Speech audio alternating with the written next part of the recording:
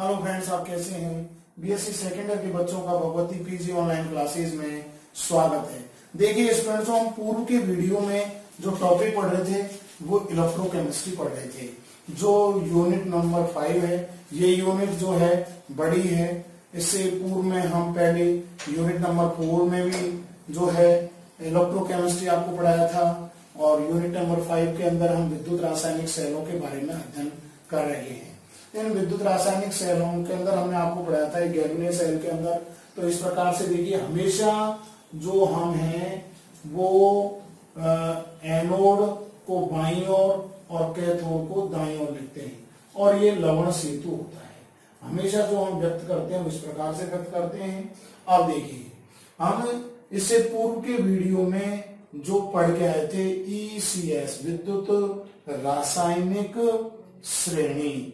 विद्युत रासायनिक श्रेणी। मान लीजिए विभिन्न तत्वों के अपचयन विभव के मानों को बढ़ते क्रम में व्यवस्थित करना ही विद्युत रासायनिक श्रेणी कहलाती है। जिसके अनेक प्रयोग, अनुप्रयोग हैं। पहला हम पढ़ के आए थे, ऑक्सीकरण एवं अपचार के प्रवृत्ति का पता लगाने में। जैसे, लिथियम एक सबसे प्रबलतम अपचार धातु है। और फ्लोरीन सबसे प्रबलतम ऑक्सीकारक है। तो ये जो है लिथियम इलेक्ट्रॉन त्याग करता है फ्लोरीन इलेक्ट्रॉन ग्रहण करता है। तो ये हमने आपको एक टेबल के माध्यम में से आपको समझाया था। दूसरा देखिए नेक्स्ट जो हमारा है, वो है धात्विक धात्विक प्रवृत्ति का पता लगाने। तीसरा जो हमने आपको पढ़ाया था, धात्विक एवं धात्विक क्रियाशीलता। चौथा है हाइड्रोजन गैस मुक्त करना। पांचवा है धातु। विस्थापन छठा जो हमने आपको पढ़ाया था रेडॉक्स अभिक्रिया के संपन्न होने का पता लगाने में। सातवां जो हमने आपको पढ़ाया था एनोड तथा कैथोड का पता लगाने में। आठवां था संक्षारण का पता लगाने में, यानी धातुओं पर जंग लगने का पता लगाने में। तो इस प्रकार से ये विद्युत रासायनिक श्रेणी के अनुप्रयोग हमने आठवां आपको पूर्व के वीडियो में पढ़ा चुके हैं। पूर्व के वीडियो में जो हमसे सबसे इंपॉर्टेंट टॉपिक जो हमने आपको पढ़ाया था, वो पढ़ाया था नेसर्ट समीकरण। बहुत ही इंपॉर्टेंट है। नेसर्ट समीकरण देखिए ये बहुत ही इंपॉर्टेंट है। नेसर्ट समीकरण सेल विभव पर सांद्रता एवं ताप के प्रभाव को नेसर्ट समीकरण की सहायता से समझाया जा सकता है। एक सामान्य गैल्वलीय सेल के अंदर एक सामान्य गैल्वेनीय सेल के लिए एक सामान्य गैल्वेनीय सेल के लिए से निम्न प्रकार से दर्शाते हैं। गैल्वेनीय सेल के अंदर जो है जेड एन अर्ध सेल अभिक्रिया जेड एन प्लस टू लवण सेतु, सीयू प्लस टू और सी ये एक सामान्य गैल्वेनीय सेल के अंदर हम निम्न प्रकार से दर्शा सकते हैं। अब इसी अभिक्रिया को देखिए, ये Z N reaction Z N plus two two electron ये हो गया ऑक्सीकरण क्योंकि एनोड पर हो रही है। C U plus two two electron ग्रहण किए और ये हो गया आपका सी अब संपूर्ण सेल अभिक्रिया। ये हो गया आपकी संपूर्ण सेल अभिक्रिया। संपूर्ण सेल अभिक्रिया। संपूर्ण सेल अभिक्रिया देखिए जेड एन टू से टू कट गया। ये आपका हो गया C U plus two reaction Z N plus two और सी ये हो गई संपूर्ण सेल अभिक्रिया। अगला देखिए सेल विभव जो है सेल विभव यानी सेल के मुक्त ऊर्जा परिवर्तन को निम्न प्रकार से दर्शाते हैं। सेल के मुक्त ऊर्जा परिवर्तन, मुक्त ऊर्जा परिवर्तन को मुक्त ऊर्जा परिवर्तन को निम्न प्रकार दर्शाते हैं। तो देखिए, निम्न प्रकार दर्शाते हैं। डेल्टा जी बराबर delta G zero plus R T L N ये हो गया उत्पाद बटे क्रियाकारक।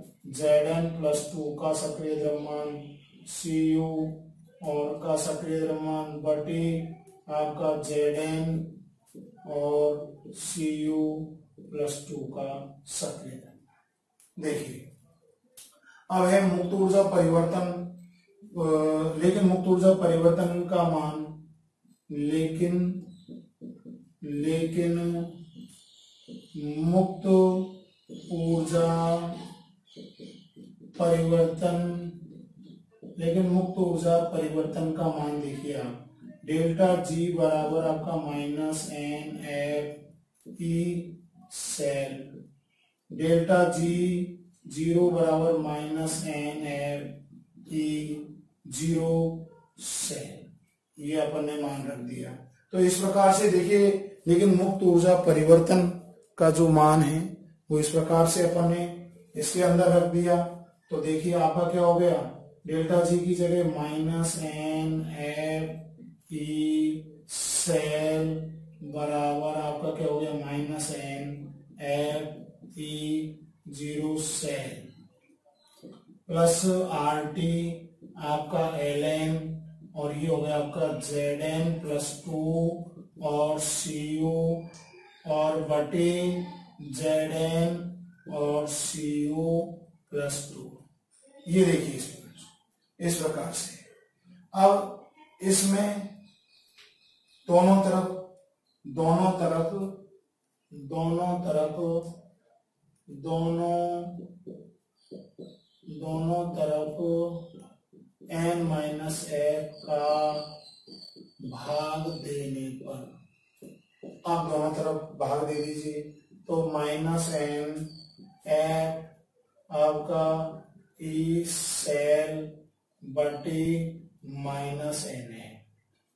बराबर minus N F E zero cell आपका बटी minus N F. Plus R T आपका एल एन बटी माइनस एन एफ़। और ये हो गया आपका जेड एन प्लस टू। और ये हो गया आपका सी यू बटी जेड एन और सी यू प्लस ये हमने मान रख दिया इस प्रकार से। तो ये देखिए, मान रखने पर अब आपका देखो, ये माइनस माइनस आपका ये हो गया, प्लस एन एफ़ से एन एफ़ कट गया, ये हो गया आपका। अब बच गया हमारा, देखिए, ई सेल बराबर ई ज़ीरो सेल, यानी ज़ीरो स्टैंडर्ड मान हो गया, ये माइनस आर टी आपका बटी एन एफ़ और एल एन और ये आपका जेड एन प्लस टू और सी यू बटी जेड एन और सी यू अब देखिए, लेकिन लेकिन यदि आपका सी यू का सक्रिय द्रव्यमान बराबर जेड का सक्रिय द्रव्यमान बराबर एक हो तो। तो देखिए, आपका एल एन यानी लॉग बेस ई कह दो, आप टेन कह दो, का मान होता है two point three zero three ये मान हमने समीकरण में रख दिया इसके अंदर। तो आपका हो गया ई देखिए सेल बराबर E zero cell minus R T इस ये हो गया आपका two point three zero three और ये हो गया आर टी बटी एन एल। लॉग और ये हो गया आपका जेड एन प्लस टू और ये हो गया आपका सी यू प्लस टू। ये अब देखिए यदि वन फेराडे बराबर छियानवे हज़ार पाँच सौ कूलाम है मान छियानवे हज़ार पाँच सौ कूलाम और टेम्परेचर जो है आपका 25 डिग्री सेल्सियस या दो सौ अठानवे केल्विन और आपका आर जो है गैसेस थ्री फोर जूल है। ये मान अपन ने समीकरण के अंदर रख दिया। और इस समीकरण के अंदर रखने पर जो हल करने पर जो हमारा मान आता है, वो देखिए हल करने पर जो हमारा मान आएगा, वो मान आएगा आपका। देखिए, मैं यहाँ लिख देता हूँ, ये हल करने पर जो मान आ रहा हमारा, वो देखिए। वो हमारा आ गया इस समीकरण के अंदर मान रखने पर। ई सेल बराबर ई ज़ीरो सेल और minus zero point zero five nine one बटी एन और आपका लॉग क्या हो गया? जेड एन प्लस टू और आपका हो गया सी यू प्लस टू ये हो गया समीकरण नंबर एक। तो ये हो गया आपका समीकरण एक जो है को ही समीकरण कहते हैं। जिसके आधार पर सेल विभव पर सांद्रता एवं ताप का पता लगाया जा सकता है। तो इस प्रकार से देखिए स्टूडेंट्स नेसल्ट समीकरण जो है, एक सामान्य हम गैलोनिया सेल के अंदर जो है, उसको निम्न प्रकार से हम दर्शाते हैं। जेड एन अर्ध सेल अभिक्रिया एक जो हमारी भाषा में हम कह रहे हैं, एक डंडा जो है अर्ध सेल अभिक्रिया को दर्शा रहा है। दो जो डंडे हैं, लवण सेतु को यानी दोनों को एनोड और कैथोड को जोड़ने का कार्य कर रहा है, या ऑक्सीकरण और अपचयन अभिक्रिया को जोड़ने का कार्य कर रहा है साल्ट ब्रिज हम इसे इस प्रकार से भी लिख सकते हैं यह अभिक्रिया एनोड पर हो रही है, ऑक्सीकरण हो रहा है यह अभिक्रिया कैथोड पर हो रही है, अपचयन हो रहा है। नेट समीकरण हमारे ये रहा, टू से टू इलेक्ट्रॉन कट गया। सेल के मुक्त ऊर्जा परिवर्तन को हम निम्न प्रकार से दर्शाते हैं, डेल्टा जी बराबर delta G zero R T L N और उत्पाद बटे क्रियाकार। तो इस प्रकार से ये हमारा जो समीकरण है, वो है आपका ये रहा। इसके बाद में लेकिन मुक्त ऊर्जा परिवर्तन का मान, वो है डेल्टा जी बराबर minus N F E cell, और डेल्टा जी ज़ीरो बराबर minus N F E zero cell हो गया आपका। ये मान हमने रख दिया, ये आपका प्राप्त हो गया। दोनों तरफ़ माइनस एन एफ़ का भाग देने पर। और भाग देने पर क्या हुआ? ऊपर वाला माइनस माइनस से माइनस प्लस हो गया माइनस से प्लस हो गया, और ये प्लस माइनस में कन्वर्ट हो गया आपका। ये देखिए, ये आपका माइनस हो गया। लेकिन कॉपर सी यू ठोस बराबर जेड एन ठोस बराबर एक हो तो लॉग बेस टेन ए का मान, यानी two point three zero three होता है तो ये हमने समीकरण में रख दिया। समीकरण में रखने पर ये हमारा आ गया। हम कह रहे वन फेराडे बराबर छियानवे हज़ार पाँच सौ कूला में टी आपका जो है 25 डिग्री सेल्सियस कैलविन के अंदर दो सौ अट्ठानवे कैलविन था और गैस स्थिरांक आठ पॉइंट तीन एक चार जूल है। तो इस प्रकार से ये आपका समीकरण एक हमें प्राप्त हो गया। समीकरण एक को ही हम नेसर्ट समीकरण कहते हैं, जिसके आधार पर सेल विभव पर सांद्रता एवं ताप का मान ज्ञात किया जा सकता तो देखिए स्टूडेंट्स बहुत ही इंपॉर्टेंट है। हमने पूर्व के वीडियो में आपको ये पढ़ाया था और आज के वीडियो में हमने इसका दौरान कर दिया और फिर भी आपके यदि समझ में नहीं आ रहा है तो आप हमसे फ़ोन के माध्यम से पूछ सकते हैं। तो इस प्रकार से ये नैसर्ग समीकरण हमने आपको पढ़ाया। बहुत ही इंपॉर्टेंट टॉपिक है। वेरी वेरी इंपॉर्टेंट है नैसर्ग समीकरण। कई बार यूनिवर्सिटी की एग्ज़ाम के अंदर आ चुका है। इस प्रकार से। अब हम एक क्वेश्चन दे रहे हैं, निम्न सेल के लिए नैसठ समीकरण निम्न प्रकार दर्शाते हैं। क्वेश्चन है हमारा, देखिए, निम्न निम्न सेल निम्न सेल के लिए, निम्न सेल के लिए ने सर्ट समीकरण। नेसर्ट समीकरण निम्न प्रकार दर्शाते हैं। निम्न प्रकार दर्शाते हैं। तो देखिए, जैसे आपका यह एन आई अर्ध सेल अभिक्रिया N I plus two salt bridge आपका two A G two A G plus अर्ध सेल अभिक्रिया और ये ए जी ये आपका सवाल है। आप यहाँ पर ऐसे सॉलिड भी लिख सकते हैं। ये ठोस भी लिख सकते हैं। आप देखिए, इस अभिक्रिया को हम देख रहे हैं हल करके। इसका हल जो हो रहा है, वो देखिए एनोड पर जो अभिक्रिया होगी, वो आपका N I N I plus two two electron त्यागी आपका देखिए two A G plus two electron ग्रहण किए इसने। तो ये क्या हो गया आपका? ए जी आपका टू ए जी हो गया। ये नेट समीकरण जो है हमारा संपूर्ण सेल समीकरण, संपूर्ण सेल अभिक्रिया, संपूर्ण सेल अभिक्रिया।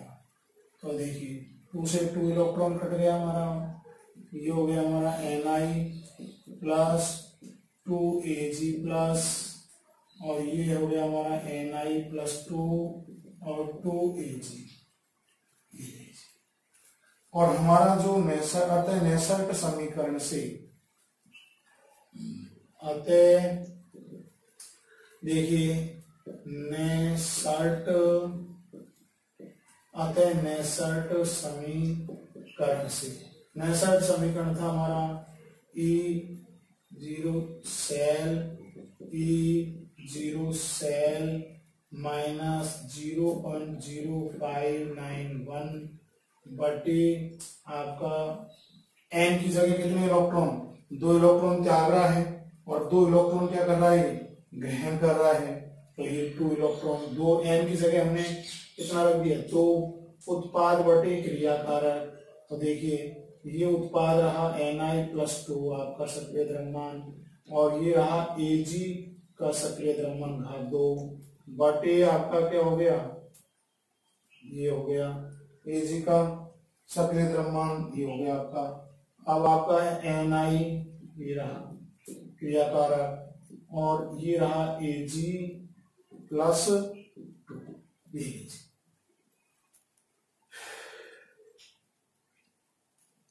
यदि देखिए, यहाँ एन आई और ए जी आपका वन है तो आपका देखिए ई e आपका सेल बराबर E zero cell minus zero point zero five nine one बटे टू और आपका आ गया एन आई प्लस टू उत्पाद बटे, ये रहा आपका क्रिया का ये नैसठ समीकरण में हमने निम्न सेल के लिए नैसठ समीकरण निम्न प्रकार दर्शाते हैं। इस सेल के लिए जो नैसठ समीकरण है, उसको हम इस प्रकार से दर्शाते हैं। ये आपसे पूछा जाता है, कई बार एग्ज़ाम के अंदर पूछा गया है, आपका देखिए लॉग ये लॉग तो इस प्रकार से फिर देख लीजिए आप, ये आपका सवाल आपको दिया हुआ है, निम्न सेल के लिए नैसठ समीकरण हम जो है निम्न प्रकार से दर्शाते हैं। तो देखिए, एनोड पर आपका N I N I plus two ऑक्सीकरण हो रहा है और कैथोड पर टू ए जी प्लस दो इलेक्ट्रॉन ग्रहण किए। टू ए जी हो गया नेट समीकरण आपका ये हो गया। अतः नैसठ समीकरण से हमारा जो है, वो आपका ये रहा। नैसठ समीकरण देख लीजिए। नैसठ समीकरण जो है minus two zero point zero five nine one बटे टू और लॉ। ये हो गया आपका।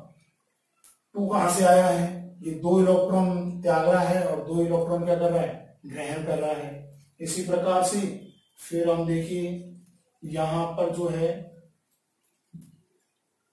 इसका ए जी और एन आई का सक्रिय द्रव्यमान बराबर एक होता है आपका। तो ये zero point zero five one बटे टू और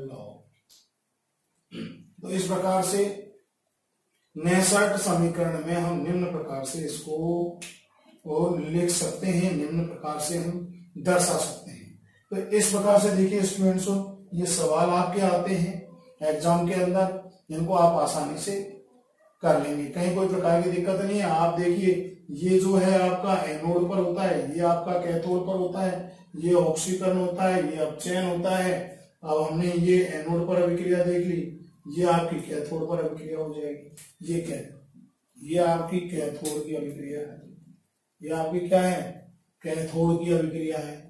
तो इस प्रकार से एनोड और कैथोड पर ये अभिक्रियाएँ संपन्न हो गई आपकी, और नेट समीकरण आपको प्राप्त हो गया। और नेट समीकरण से इस प्रकार से हमने जो है एन का मतलब दो इलेक्ट्रॉनों का त्याग करना या ग्रहण करना टू हमने रख दिया। और ये देखिए ए जी का सक्रिय द्रव्यमान और एन आई का सक्रिय द्रव्यमान बराबर एक होता है तो ये आपके जो है, बच गए आपके। और इस प्रकार से हम इसको निम्न प्रकार से लिख सकते हैं। इस प्रकार से स्टूडेंट्स ये बहुत ही इंपॉर्टेंट है। अब देखिए, हम नेक्स्ट जो टॉपिक पढ़ेंगे, वो पढ़ेंगे आपका बहुत ही इंपॉर्टेंट है। वो है आपका सेलों के बारे में हम पढ़ेंगे। विद्युत रासायनिक सेलों के प्रकार। बहुत ही इंपॉर्टेंट टॉपिक है। विद्युत, रासायनिक, सेल, बहुत ही इंपॉर्टेंट आपका टॉपिक है। विद्युत, रासायनिक, सेल, देखिए विद्युत, रासायनिक सेलों के प्रकार। विद्युत, रासायनिक विद्युत रासायनिक सेलों के प्रकार। इस प्रकार से विद्युत रासायनिक सेलों के प्रकार। तो विद्युत रासायनिक जो सेल हैं, वो दो प्रकार के होते हैं। दो प्रकार के होते हैं। दो प्रकार के होते हैं। दो प्रकार देखिए कौन कौन से। नंबर एक है आपका प्राथमिक सेल। प्राथमिक प्राथमिक सेल के अंदर देखिए, ये सरलतम सेल होते हैं। इस प्रकार के ये सेल सरलतम प्रकार के सेल होते हैं। सरलतम प्रकार के सरलतम प्रकार के सेल होते हैं। पहली विशेषता। दूसरी, ये जो है अनु अनु उत्क्रमणीय होते हैं, यानी इनको इनको चार्ज नहीं किया जा सकता। अनु उत्क्रमणीय होते हैं।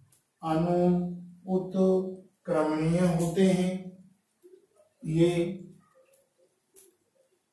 अणु उत्क्रमणीय होते हैं, यानी अणु उत्क्रमणीय होते हैं, इनको चार्ज नहीं किया जा सकता।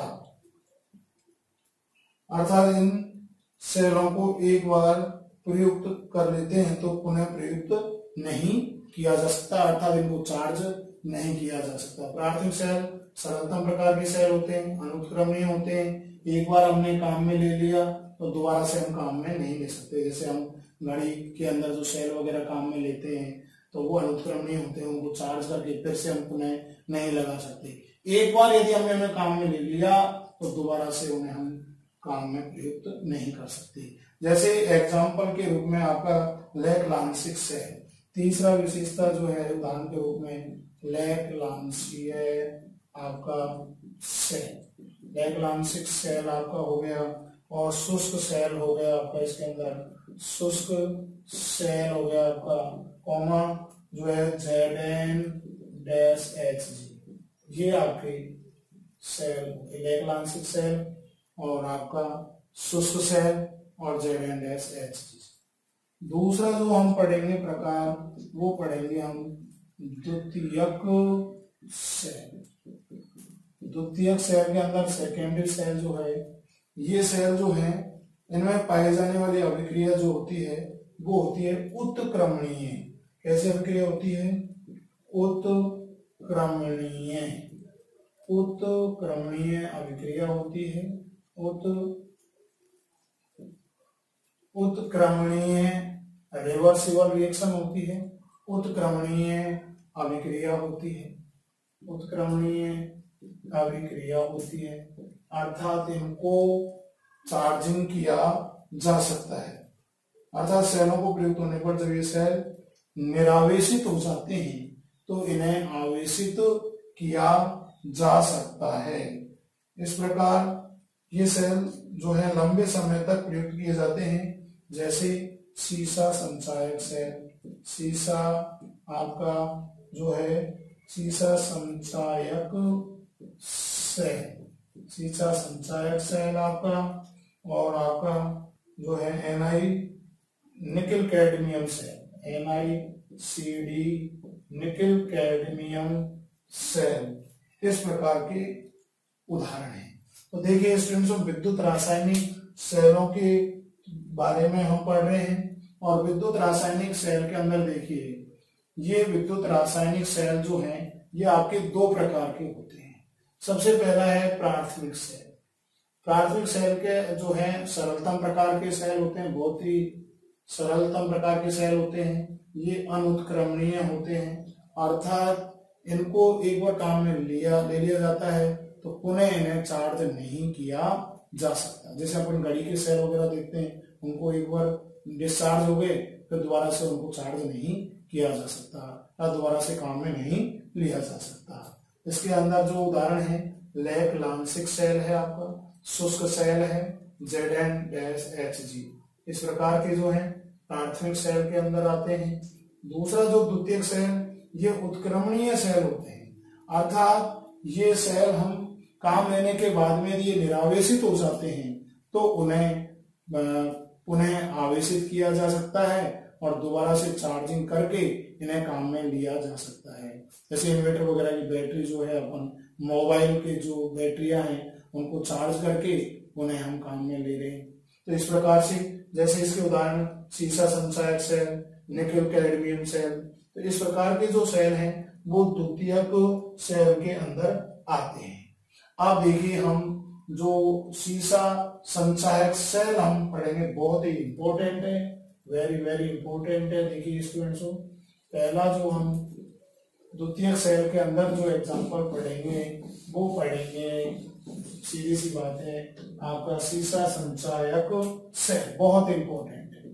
सीसा संचायक सेल।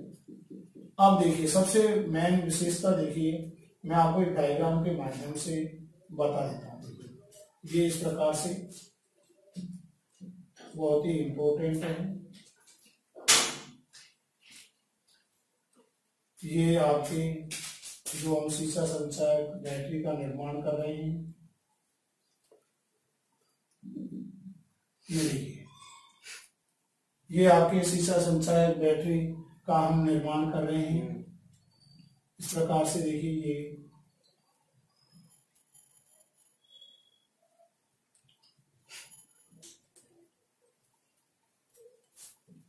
ये और ये देखिए आप इस प्रकार से। ये आपका हो गया। फिर ये देखिए आपका ये कैथोड और एनोड का कार्य करती है। इस प्रकार से ये देखिए आपका कैथोड और एनोड का कार्य कर रही है।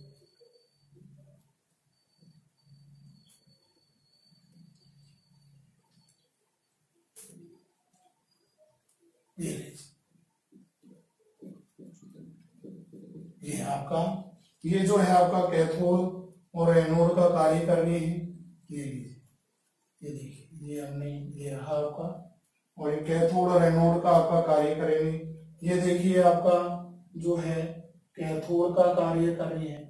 ये कैथोड का कार्य कर रहे हैं और ये आपके एनोड का कार्य कर रहे हैं। इनके अंदर जो है पीवी यानी लेड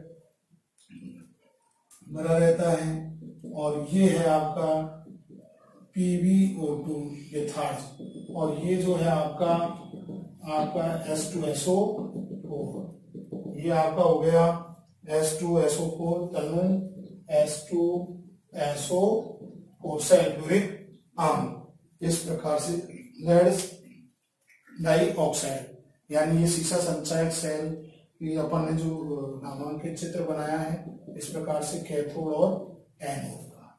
तो इस प्रकार से द्वितीयक सेल के अंदर आपको हमने जो सीसा संचायक सेल सीसा संचायक सेल जो कि बहुत ही इंपॉर्टेंट है। इसके बारे में हम आपको क्रियाविधि बताएँगे, किस प्रकार से यहाँ पर जो है चार्जिंग यानी निरावेशित और आवेशित की क्रियाएँ हम आपको बताएँगे। तो देखिए स्टूडेंट्स आज के वीडियो में हमने आपको जो है पुनः नैसठ समीकरण के बारे में बताया, एक सवाल हल कराया और दूसरा देखिए हमने आपको जो है सेलों के प्रकार, दो प्रकार के होते हैं। प्राथमिक और द्वितीय सेल। प्राथमिक सेल के अंदर कौन कौन आते हैं? द्वितीय सेल के अंदर कौन कौन से आते हैं, वो हमने आपको बता दिए इस प्रकार से। तो आज की वीडियो में इतना ही, और धन्यवाद स्टूडेंट्स। अगले वीडियो में हम अगला टॉपिक पढ़ेंगे।